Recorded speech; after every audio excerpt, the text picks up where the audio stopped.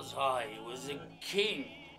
Any man who could buy an island and pay for it with mystery. What a king.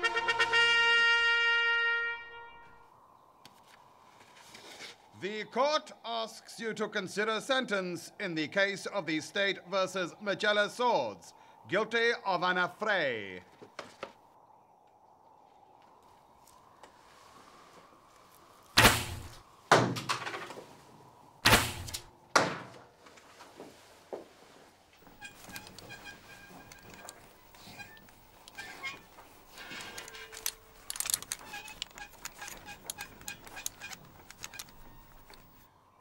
Bullseye, 10. The sentence is ten years. Justice is dispensed.